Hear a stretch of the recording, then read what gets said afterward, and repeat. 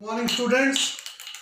This is question number 2 of exercise 11.2 based on the same topic that is construction of tangent to a circle.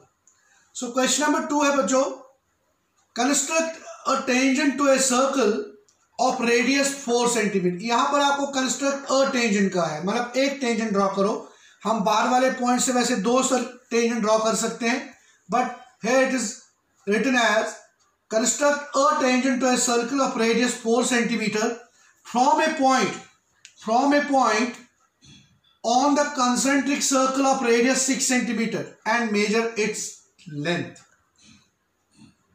so, बच्चों सबसे पहले आपको word concentric क्या होता है ये जानना है so concentric circles two circles with same centre वो सर्कल जिनका सेंटर सेम होगा they are called concentric circles अब एक जो अंदर वाला है, वो फोर सेंटीमीटर का है और बाहर वाला जो है, वो सिक्स सेंटीमीटर का है विथ सेम सेंटर ओ तो ओ से दो सर्कल फोर सेंटीमीटर और एक और सिक्स सेंटीमीटर का।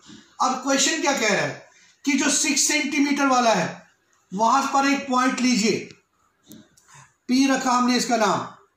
उस पॉइंट से बाहर वाले, इस अंदर वाले सर्कल पर टेंजेंट ड्रॉ करिए। सो so, इस बाहर वाले सर्कल पर एक पॉइंट लेना है।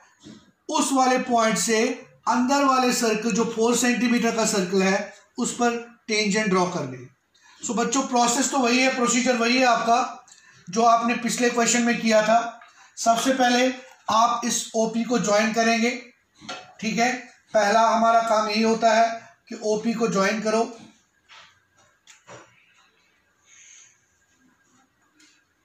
सो ये हमने ज्वाइन किया पहला स्टेप अगला स्टेप क्या होता है बच्चों?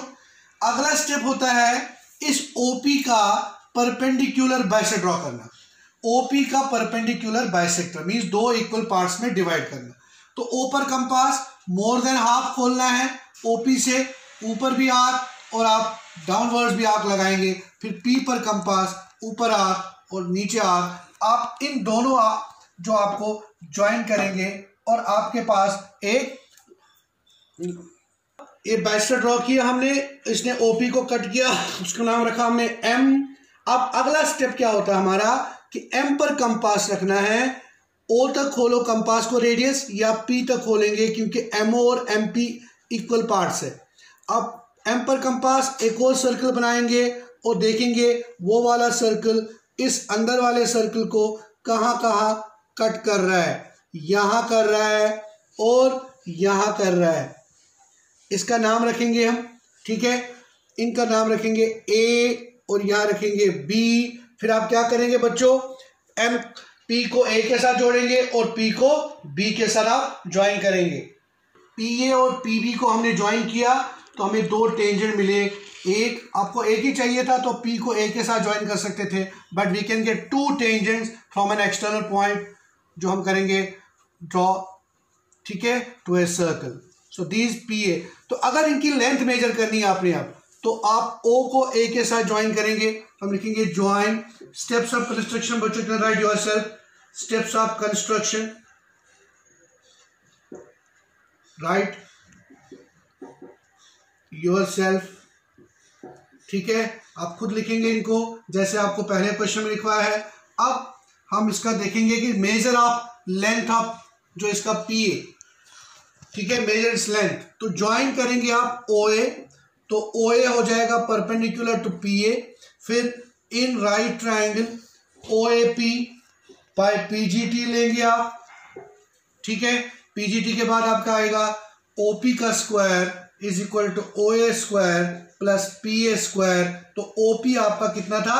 सिक्स सेंटीमीटर सिक्स का स्क्वायर इक्वल टू फोर का square plus P A square that is thirty six minus sixteen equal to P A square तो थर्टी सिक्स माइनस सिक्सटीन कितना आएगा? That is equal to twenty तो twenty का root लगेगा P A तो root क्या? Two root five तो two root five centimetre आपका लेंथ ऑफ़ टेंजेंट आ जाएगा.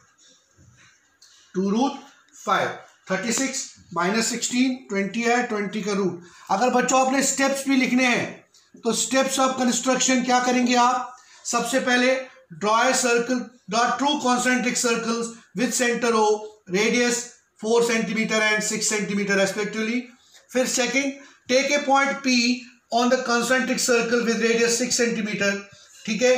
फिर join OP draw the perpendicular bisect of OP with M as centre draw a circle with radius MO or MP intersecting the inner circle at A and B, join PA and PB, we get the required tangents.